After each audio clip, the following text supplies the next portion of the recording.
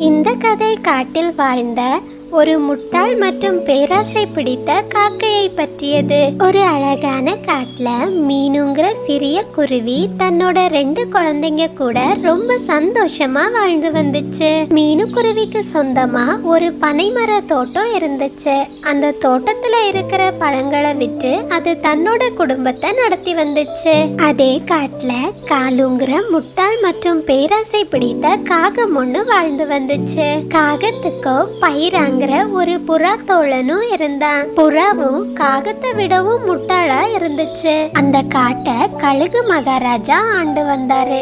கழுகு மகாராஜாவுக்கு ஒரு சின்ன பையனும் இருந்தான். மகாராஜா தன் பையன் மேல ரொம்ப பாசம் வச்சிருந்தாரு. ஒரு நாள் கழுகு மகாராஜா தன்னோட சின்ன பையனை கூட்டிக்கிட்டு காட்டை சுத்தி பார்க்கறதுக்காக போனாரு. மார்க்கெட் கடந்து போகிற வழியில ஒரு வித்தியாசமான பழம் கழுகு மகாராஜாவோட கண்ணுக்கு தென்பட்டுச்சு. மகாராஜா அந்த பழத்தை பத்தி தெரிஞ்சுக்கிறதுக்காக தன் பையனை கூட்டிக்கிட்டு மீனு குருவியோட கடைக்கு போனாங்க. வணக்கம் மகாராஜா.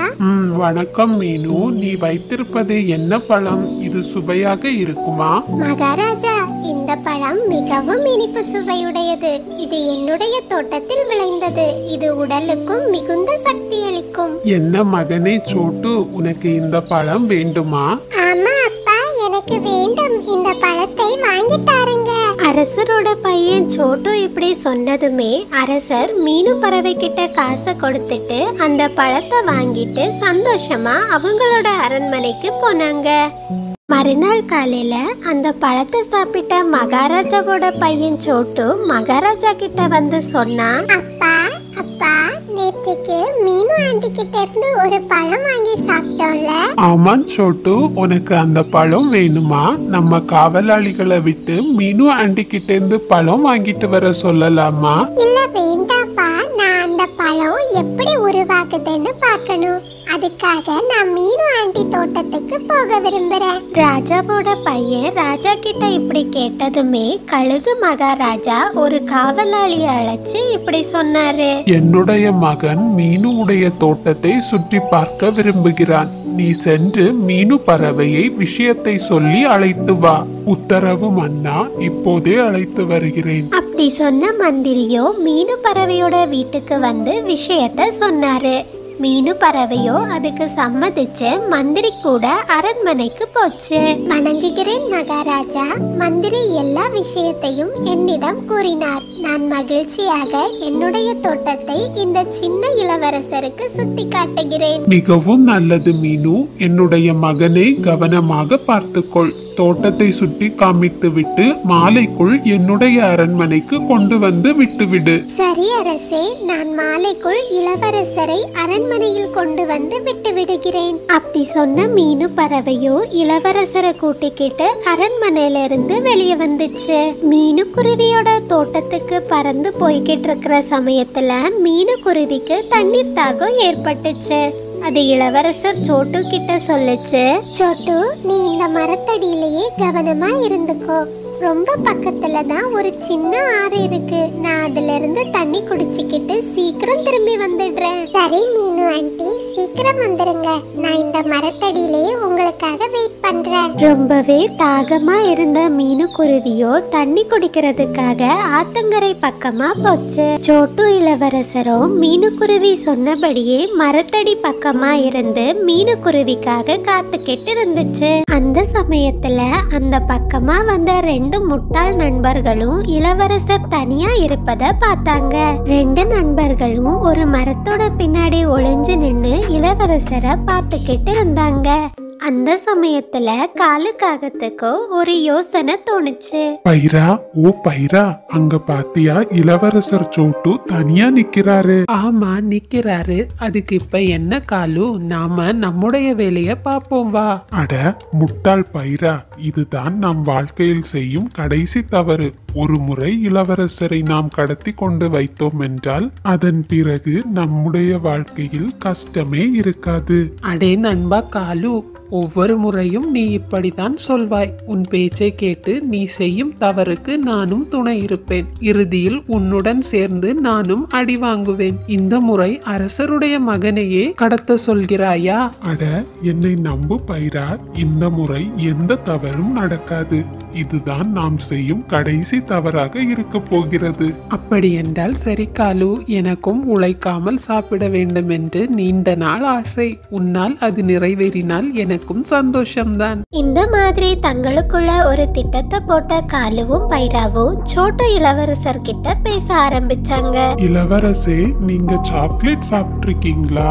என் கூட வந்தா உங்களுக்கு நிறைய சாக்லேட் வாங்கி தரேன். அங்கிள் சாக்லேட்னா என்ன? அது எப்படி இருக்கும்? சாக்லேட்டுங்கிறது ரொம்ப சுவையா இருக்கும். அது மிகவும் தித்திப்பா இருக்கும். என் கூட வந்தா உங்களுக்கு நிறைய வாங்கி தரேன். ஆனா அங்கிள் மீனு ஆண்டி வந்தா என்ன தேடுவாங்களே? இளவரசே அவங்க வரதுக்குள்ள நான் உங்களுக்கு நிறைய சாக்லேட் வாங்கி தந்து எங்க கொண்டு விட்டுருவேன். என்னோட வாங்க. அப்படி சொன்ன காலுக்காகமும் ரொம்ப தந்திரமா பேசி இளவரசரை கூட்டிக்கிட்டு அதனோட வீட்டுக்கு போச்சு. சோட்டு இளவரசரோ காலுக்காகத்தோட வார்த்தைகளை நம்பி அதனோட போனாங்க. மீனு குருவியோ நதிக்கரையில தண்ணீர் குடிச்சுக்கிட்டு இளவரசர் இருந்த இடத்தை நோக்கி பறந்து போச்சு. ஆனா இளவரசரை அங்க காணல.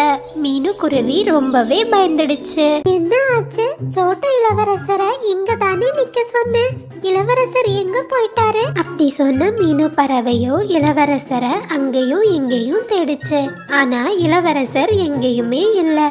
இத பார்த்த மீனு பறவைக்கு பயம் ரொம்பவே அதிகமாச்சு. அச்சோ இப்போது நான் அரசருக்கு என்ன பதில் சொல்லுவேன்? இளவரசர் எங்கே என கேட்பாரே?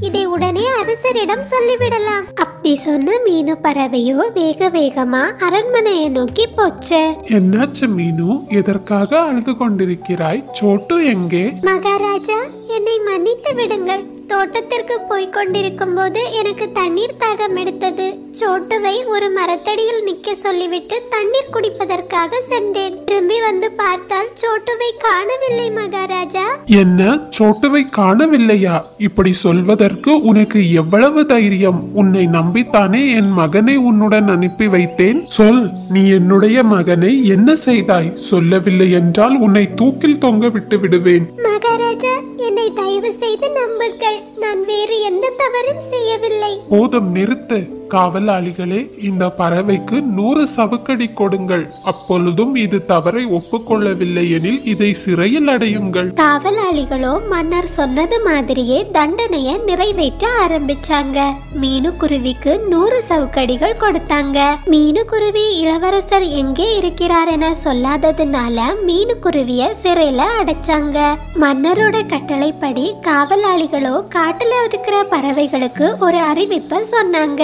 அறிவிப்பு அறிவிப்பு அறிவிப்பு. அரண்மனையிலிருந்து செய்தி வந்திருக்கு. மன்னரோட மகன் சோட்டு இளவரசரை காணவில்லை. அவரை யார் கண்டுபிடித்து கொடுக்கிறார்களோ அவர்களுக்கு நூறு பொற்காசுகள் வழங்கப்படும். அறிவிப்பு அறிவிப்பு அறிவிப்பு. அரண்மனை காவலாளி சொன்ன அறிவிப்ப காலுவும் பைராவும் கேட்டாங்க.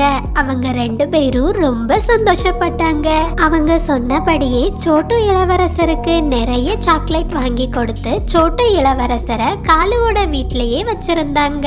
பார்த்தாயா பைரா என்னோட ஐடியா எப்படி வேலை செய்யுதுன்னு இனிமே அந்த நூறு பொற்காசுகளையும் வாங்கிக்கிட்டு வாழ்க்கையில கஷ்டமே படாம வாழ வேண்டியதுதான். அடே காக்பையா உன்னுடைய நண்பன் என சொல்ல எனக்கு ரொம்ப பெருமையா இருக்கு. ஆமா இந்த இளவரசரை என்ன சொல்லி அரசர்கிட்ட ஒப்படைக்கிறது? அட பைரா அத பத்தி நீ கவலைப்படாத. எனக்கு அதுக்கும் ஒரு ஐடியா இருக்கு. வா இப்போவே இந்த இளவரசரை கூட்டிக்கிட்டு அரண்மனைக்கு போலாம். ரெண்டு நண்பர்களும் ரொம்ப சந்தோஷமா இளவரசரை கூட்டிக்கிட்டு அரண்மனையை நோக்கி போனாங்க. இளவரசரை அரண்மனைக்கு கூட்டிட்டு வந்த காலுவும் பைராவும் அவங்களோட நாடகத்தை தொடங்கினாங்க. காலு பைரா உங்க ரெண்டு பேருக்கும் ரொம்ப நன்றி. என் மகனை நீங்க திருப்பி கொடுத்துட்டீங்க. உங்களுக்கு சொன்னபடியே நூறு பொற்காசுகள் கொடுக்கிற. ஆமா என்னோட பையனை நீங்க எப்படி கண்டுபிடிச்சீங்க? மகாராஜா நான் தினமும் வேலைக்கு போகிற மாதிரி என்னுடைய தோட்டத்துக்கு கிளம்பினேன். அந்த சமயம் சோட்டு இளவரசர் காட்டுல தனியா அங்கேயோ இங்கேயோ அலைஞ்சுக்கிட்டு அழுதுகிட்டு இருந்தாரு. இளவரசருக்கு ரொம்பவே பசி எடுத்தது மகாராஜா. அதனால தான் அவரை என் வீட்டுக்கு கூட்டிட்டு போய் நிறைய உணவு கொடுத்து இப்போது அரண்மனைக்கு கூட்டிட்டு வந்திருக்கேன் இந்த மாதிரி காலுக்காகவும் சொன்ன பொய்ய மகாராஜாவும் நம்பிட்டாரு. ஆனா யாருமே எதிர்பார்க்காத சமயம் இளவரசர் சோட்டு பேச ஆரம்பிச்சாரு. அப்பா எனக்கு சாக்லேட் வேணும். சாக்லேட் ரொம்ப இனிப்பா இருக்கு. காலு அங்கிள் கிட்ட நிறைய இருக்கு. எனக்கு காலு அங்கிள் மாதிரி நிறைய சாக்லேட் வாங்கி தாங்க. இளவரசர் இப்படி பேசுவாருன்னு எதிர்பார்க்காத காலுவும் பைராவும் திரு திருன்னு முழிச்சாங்க. இத பார்த்த மகாராஜாவுக்கும் சந்தேகம் வந்துச்சு. என்ன பைரா நம்முடைய திட்டமே தலைகீழாக மாறிவிட்டது. இளவரசர் நம்மளை காட்டி கொடுத்து விடுவார் போலிருக்கிறது. அடே காலு வழக்கம் போல இந்த முறையும் மாட்டிவிட்டோம். இப்போதும் நமக்கு அடி நிச்சயம். என்ன பறவைகளே உங்களுக்குள் தனியாக பேசிக் கொண்டிருக்கிறீர்கள். நீங்கள் சொல்லுவதையும் என் மகன் சொல்லுவதையும் வைத்து பார்த்தால் பொற்காசுக்காக நீங்கள் இருவர்தான் என் மகனை கடத்தியிருக்கிறீர். நீ என் மகனுக்கு உணவு கொடுத்ததாக சொன்னாய். ஆனால் என் மகனோ சாக்லேட் சாப்பிட்டிருக்கிறான். இதிலிருந்தே உன் திருட்டுத்தனம் தெரிகிறது. அவலாளிகளே இந்த ரெண்டு பறவைகளுக்கும் கடுமையான தண்டனை அழியுங்கள். மன்னர் இப்படி சொன்னதுமே காவலாளிகளோ காலுவுக்கும் பைராவுக்கும் கடுமையான தண்டனைய வழங்கினாங்க. அது மட்டுமல்ல ரெண்டு பேரையும் சிறையிலையும் அடைச்சாங்க. ரெண்டு முட்டாள் பறவைகளும் அவங்களோட தப்புக்கு சரியான தண்டனையை பெற்றாங்க. மீனு பறவைய விடுதலை செய்த மகாராஜாவோ தன்னோட தப்புக்காக மீனு பறவை கிட்ட மன்னிப்பு கேட்டாரு. அரசே இனிமேலாவது குற்றம் நிரூபிக்கப்படும் முன் ஒருவருக்கு தண்டனை வழங்காதீர்கள். அப்படி சொன்ன மீனு பறவையோ மறுபடியும் சந்தோஷமா தன்னோட குடும்பத்துக்கு கூட தன் வியாபாரத்தை தொடங்க ஆரம்பிச்சது. பசங்களா இந்த கதையில இருந்து நாம என்ன கத்துக்கிறோம்னா முட்டாள்தனமும் பேராசையும் இருக்கிற ஒருத்தங்க இப்படிதான் வாழ்க்கையில கஷ்டப்படுவாங்க.